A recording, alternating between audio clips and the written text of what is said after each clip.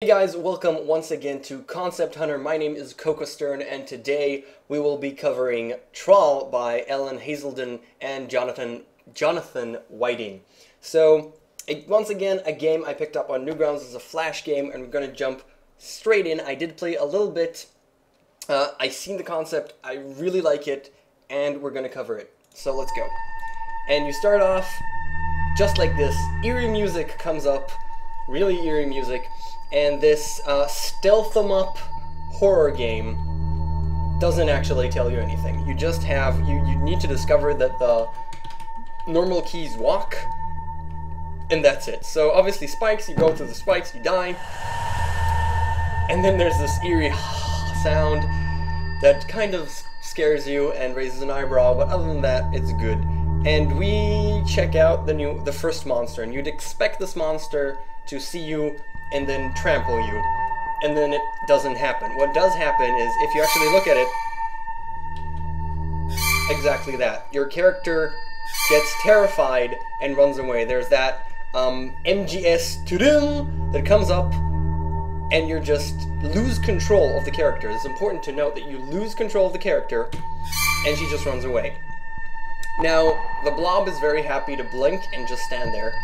Doesn't really care about anything, but my character is the one that actually moves from in case this happens. So this is actually, that was an introduction, this is a first puzzle. And I've already solved it, again I've played a little bit, but the thing that it's important to note here is how the game really works. Remember I have only four keys, which are the four directional buttons.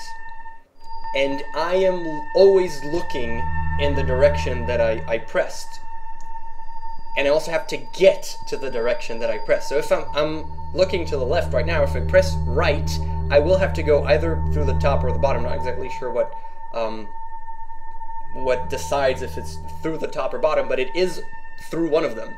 So right now I, I turned around in half a circle, look to the bottom, and then look to the um, to the right in this case.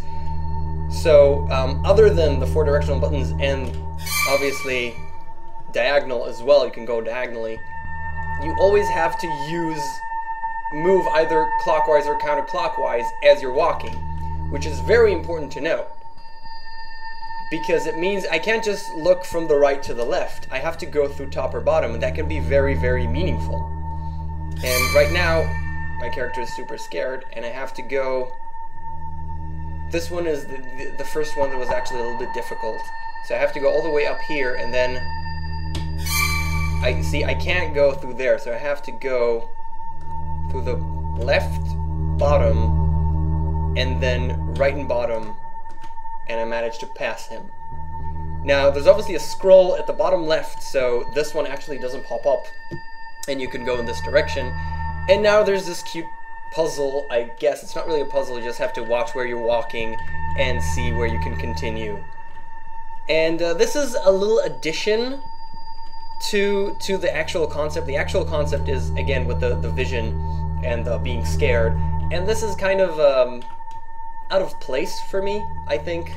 I mean, you could remove this part of the game, specifically just this map, because it just it's not in place. It's just it's a little bit not amazing. And then you get to the scroll, and there's obviously gibberish and uh, just unintelligible crap.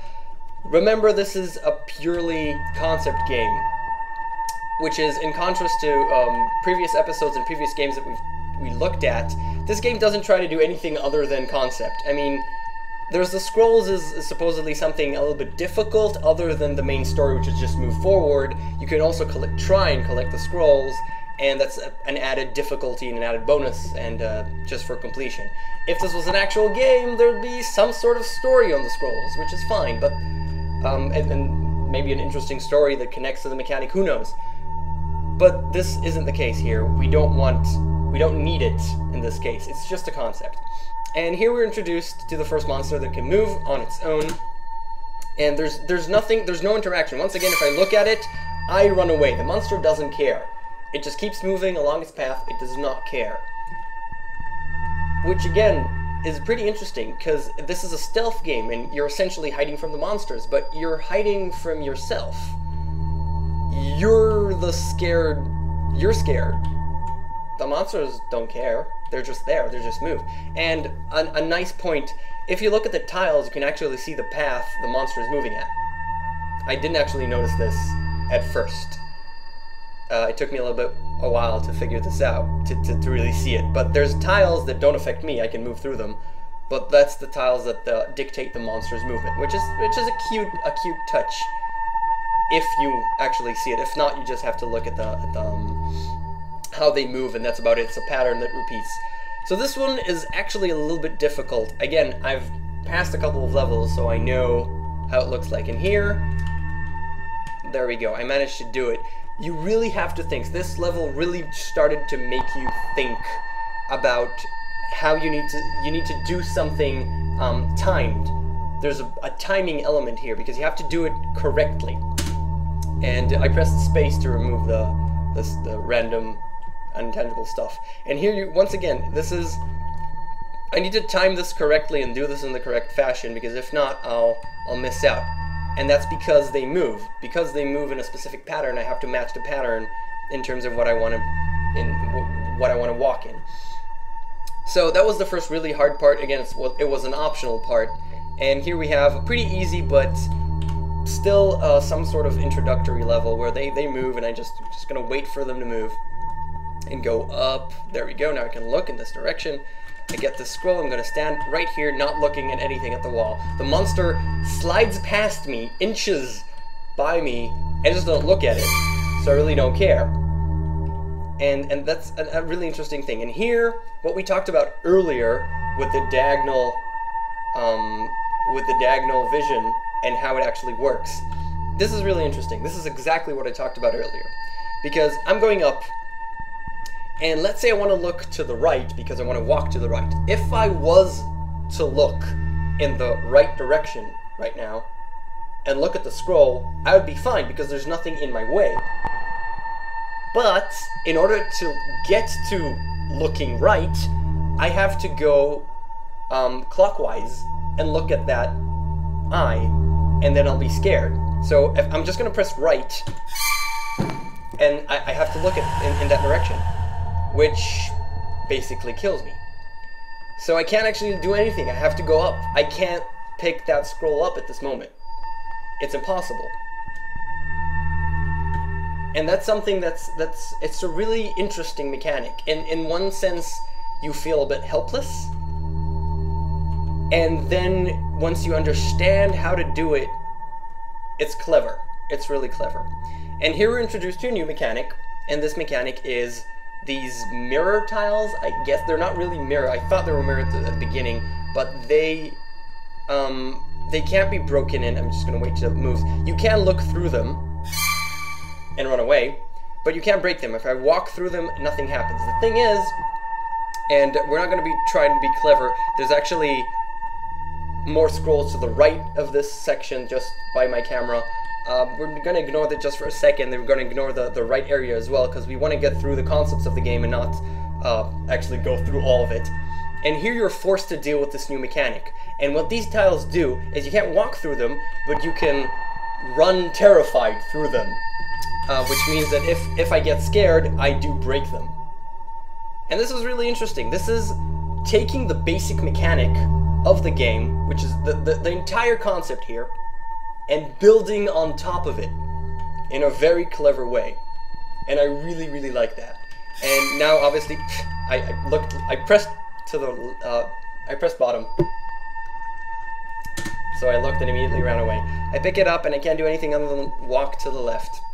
And we're going to play just a little bit more and check out the next monster, which is in this case sleeping, one-eyed, and here we, we're introduced to one of the last mechanics that we'll get in this game, which is direct manipulation. And I'll show you, we look at it, and it screams at us and actually moves. And this means that I actually have some power. I can actually manipulate the environment in addition to the, the broken the tiles that I can break, which is basically a doorway, this is really a lot of manipulation that I can do here. Because I can make it run away um, to this location, and then I can just clear pretty much the entire area. Now, obviously, there's this, the, the tiles here, so she's far away enough. I look in this direction, and it'll run through it, and now I pass this section. So, obviously, there's how much do I run away, at what speed, at what speed this moves, and how much it moves when I look at it. There's a lot of variables here that can be changed and messed around with if we are to build on top of them. But this is just the, the basic concept here. And uh, again, a level that it's just a passage to another one, which is kind of a waste of time, I believe, but uh, we're going to ignore this because it's not the main part here. Here we have a really interesting puzzle, and this is one that I haven't actually uh, had the time to sit down. I didn't finish the game completely and gotten all the scrolls. I, I didn't do it yet. I want to, I intend to do it because it's really cool. Hopefully I'll get around to it. And as we actually passed already 10 minutes, we're going to wrap things up. So, the concept is really, really cool. I really like it. It's very strong, and they do something very smart here. They take the basic concept, the basic concept that they thought about, and they build on top of it. So, I'm scared of monsters, and then the monsters, the monsters are stationary, and obviously then the monsters stop moving. And then my running away mechanic makes me break into things and then I can manipulate the environment. And you take the core concept and you build on top of it, which is very smart.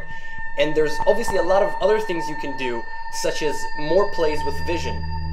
This game, um, towards the end of it, you actually get a blindfold, which makes the entire screen black. I'm not going to show you because uh, we haven't reached it, but the entire screen black, but everything is still there. So you have to memorize what's happening. And obviously, if you walk on spikes, then you're going to die. But you can't make the monsters, you, you can't look at the monsters, so you can't lose control of your character. You just have to tread carefully. Which is really, really smart. Again, more plays with vision. You take the core mechanic, you build on top of it. There's a ton more to think and to do here. It's a short game. I really recommend you try it out. Again, it's on Newgrounds. Its name is Traal, which is T-R-A-A-L. We're going to give credit where credit is due. So we're going to scroll a little bit to the bottom here. The author is Draknek, which is actually Alan Hazelden and Jonathan Whiting. This is a puzzle horror stealth em up game, uh, according to their description. It's called Traal. You can find it on Newgrounds. And this has been Concept Hunter. Thank you very much for watching. Play the game.